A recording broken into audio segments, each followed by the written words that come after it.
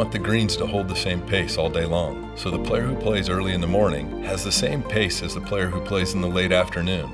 And in the tropics, on the equator, with high humidity and warm season grasses where everything is growing 24 7, that is a very difficult thing to do. So we use some simple, localized science to manage the growth. We measure the amount of leaf tissue we pull off the greens every morning when we mow the grass. And that is how we gauge how much and how fast the plant is growing. We use this information to customize and design how we feed the plant, to modify its growth characteristics. The goal is to slow the plant down to the point where this week it stops growing. All we want to take off the greens when we mow them is what I can hold in my hand. And to get 18 greens consistent and playing the same pace, that is an art.